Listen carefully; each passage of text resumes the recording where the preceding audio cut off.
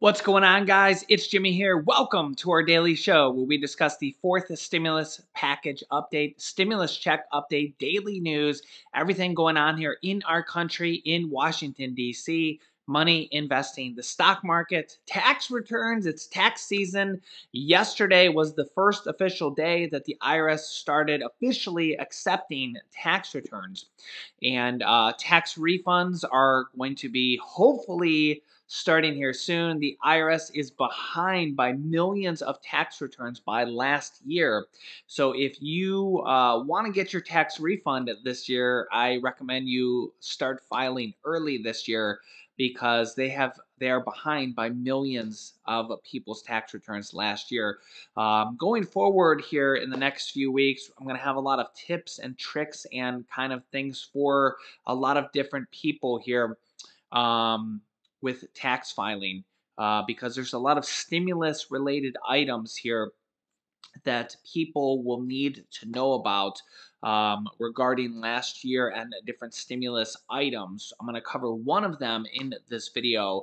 Um, these different types of stimulus items that you claim on your tax uh, returns, um, they're going to affect different buckets of people, different groups of people, and I'm going to be covering them in upcoming videos. I'll cover one of them here today. This particular item can uh, get people four to eight thousand dollars back on your tax returns. It's a stimulus provision from the third stimulus check package, the American Rescue Plan, and uh, affects millions of people. Okay, and um, if you don't know about it, it's it's one of those things that you will miss out on. It's it's similar to the five thousand dollars stimulus provision that we've talked about here recently. I'll link you to that at the end of this video. It's one of those things that if you don't know about it, you just might miss out on five thousand dollars. I've I've had a lot of people comment that said they didn't know about it. They're they told their friends and family about it. They didn't know about it, and they literally could miss out on five thousand dollars. Well, this is a different one. This is a four to eight thousand dollar tax credit um, and it's fully refundable. Fully refundable means that um, even if you don't owe the IRS any money, they will send you a check. The IRS will send you a full refund check. So if you qualify for $4,000, if you qualify for $8,000, or if you qualify for uh, a partial amount of it, if you qualify for $2,000, the IRS will literally send you a refundable check. They'll send you a check.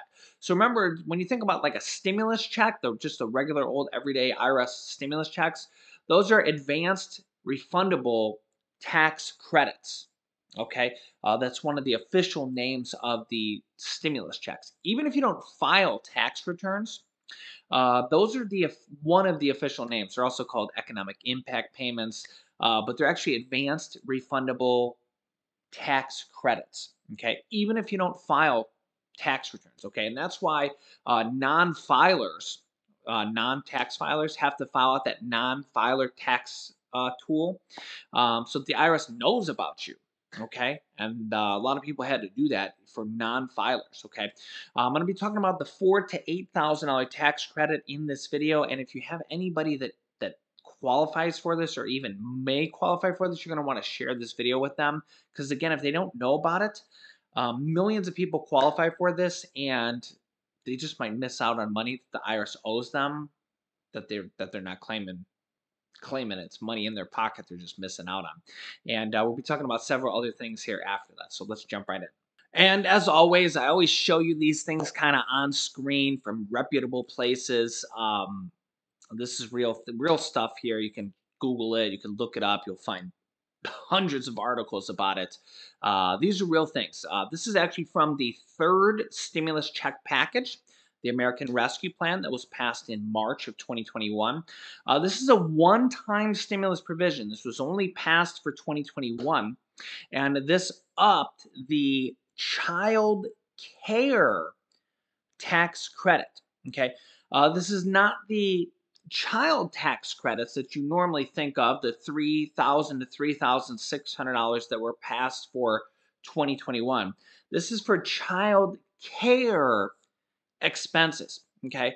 Uh, but this also covers other things like nannying expenses, um, some after school uh, related expenses, um, a lot of different expenses that have to do with childcare and watching your children expenses. Okay, uh, the IRS considers a lot of these um, if it has to do with watching your child um, for children under the age of 13 or for children over the age of 13 that have um, mental disabilities and uh, several other provisions there.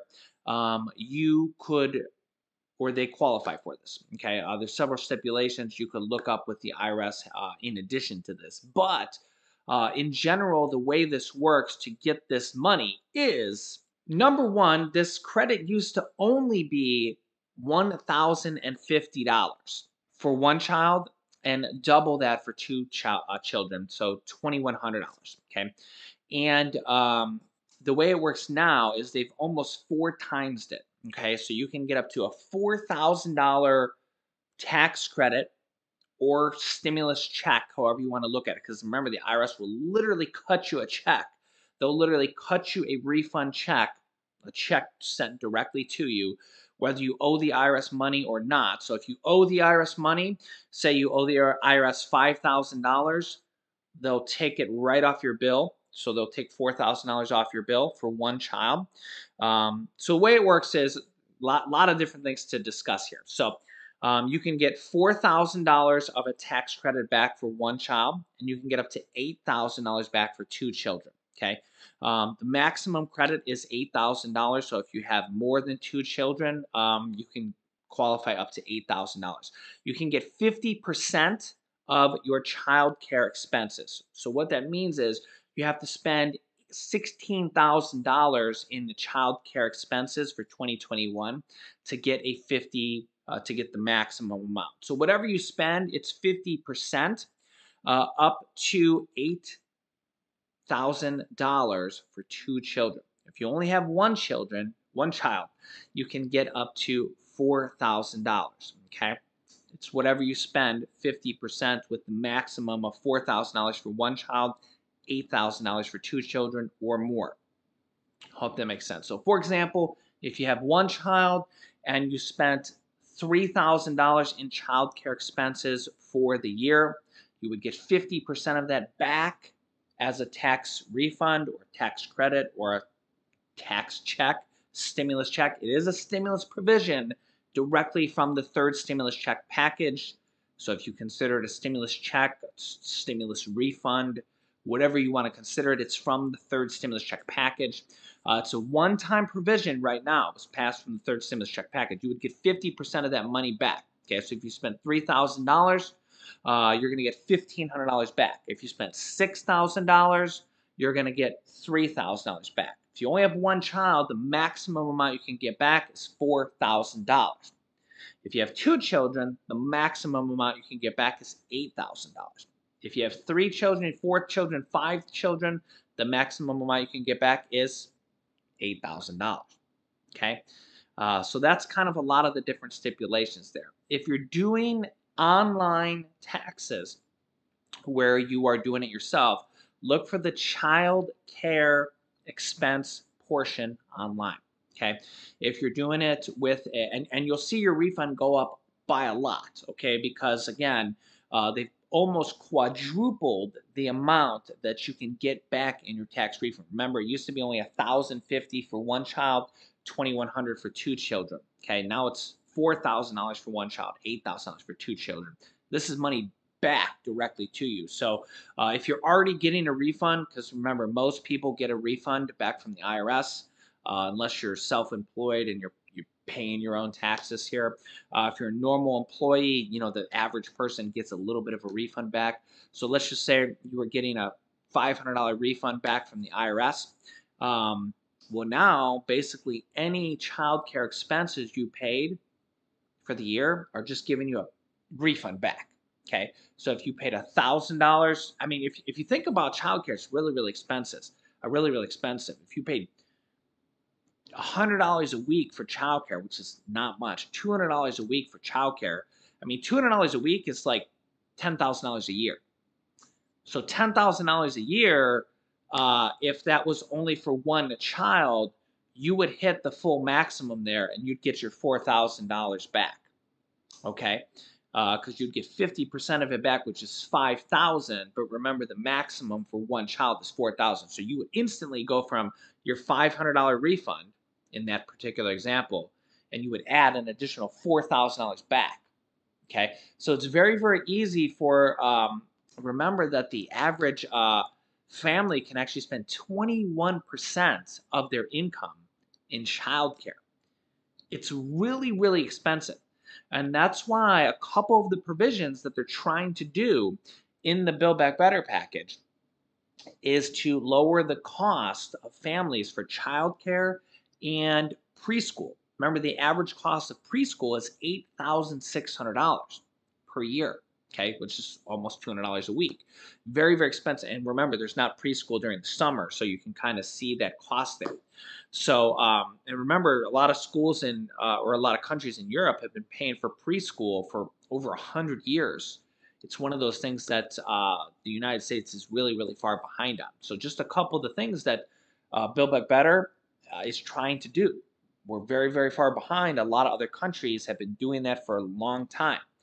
Um, so again, you can let me know your thoughts on this. But I mean, when you think about some working families, mom goes to work, dad goes to work, and what happens? They pay up to 21% of their income in childcare. It's crazy. They're paying $10,000, $20,000 a year in childcare and they can't get ahead. So what they did is they passed this provision in the third stimulus check package saying, hey, let's help out these working families and they're going to work, but yet they're spending all this money on childcare while they're going work and trying to get ahead. So here's an extra stimulus provision. They're spending this money on childcare, and this will help them get back 50% of the money that they spent. Now, the thing is, is that you're going to have to save your receipts for these in case you get audited or anything like that. So if you paid anybody under the table, if you paid a nanny under the table and you paid them with cash, that's not really going to cut it. It's not really going to fly, okay? So you're going to need an actual receipt for this, okay? Uh, that's why, in general, if you ever pay anybody cash under the table, it doesn't really count you don't really get to write that off as an expense.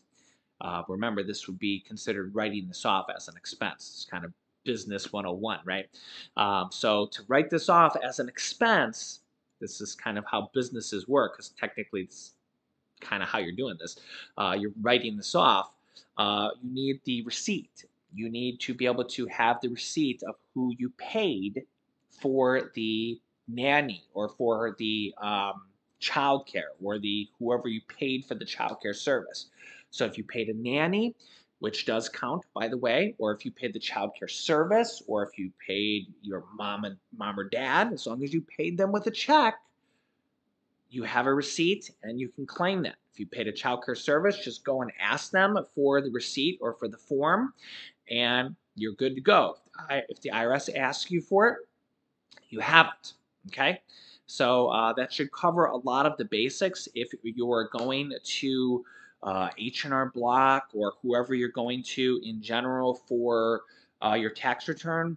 You'll have the receipt. Make sure you tell them you want to claim this, okay? Uh, because it's going to significantly uh, up your refund. Okay, if you've already, if you're ahead of the game, you've already claimed this. Uh, you're probably, you know, good for you. But if you if you already filed didn't claim this, uh, you might want to go back and file an amended tax return. It might cost you an extra 50 bucks or something like that. Uh, I have mentioned this on the channel several times in the past, but for some reason, if you didn't claim your child care expenses um, and they're significant, that they're more than like 100 bucks or something, you probably want to go back. Again, I'm not a tax accountant or anything like that, uh, but I do like to guide to bring you guys as many kind of um, good things and save you guys as much money as I can. Uh, but you might want to go back and file an amended tax return uh, because if it means an extra thousand bucks in your pocket, I mean, I'm here to help uh, as many people as possible. So just keep that in mind. And I'll be covering a lot more things like this here in the near future. So make sure to stay tuned to the fam uh, to this channel here, our extended family. Make sure to subscribe down below. I'll keep you up to date here. It's free to do so. Also, make sure to click the share button down below. You can share this video with anybody you know that has children. Um, I'll be covering this as well. I'll also link you to the video about $5,000 how to claim. You want to share that video with anybody that had a new baby here as well. Uh, that is very, very important be, uh, for last year as well because if they don't know about it, they could miss out on $5,000. And I'll keep you up to date with everything going on here in our country, which this story is really starting to get a little bit hairy. Check this out. Uh, yeah, the Pentagon says that 8,500 U.S. troops are on high alert for possible deployment to Eastern Europe and that the U.S. could be sending American troops over to Europe because of this uh, issue with Russia invading Ukraine. And uh, Ukraine is our ally. And in addition to this, we have also sent now two shipments of U.S. weapons over to Ukraine to um, bolster their positions. Yeah, here, check this out. And the United States has taken steps to heighten the readiness of its forces at home and abroad so that they are prepared to respond to a range of contingencies, including support to the NATO response force if it is activated. The United States will act firmly in defense of its national interests in response to actions by Russia that harm us, our allies, our partners.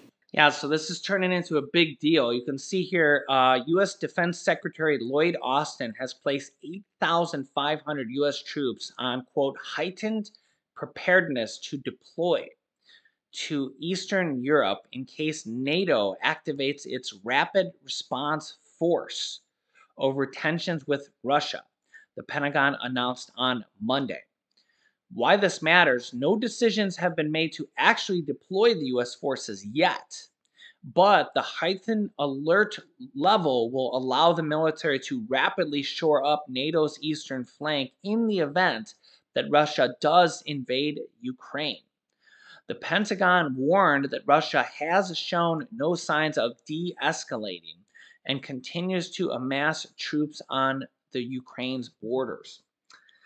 Yeah, they're saying that this is really about reassuring the eastern flank of NATO, and it's also about proving how serious the United States takes our commitment to NATO and to the Article 5 commitment inside NATO. Pentagon Press Secretary John Kirby said on Monday, referring to the alliance's commitment to collective defense.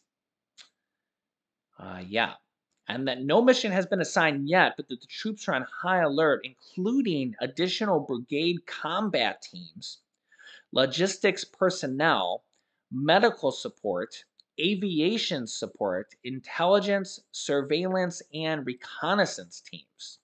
Kirby also reiterated that President Biden's position that the U.S. troops will not be sent to Ukraine to fight a war against Russia but that the West is still determined to deter Moscow from launching an invasion through the threat of sanctions and military aid.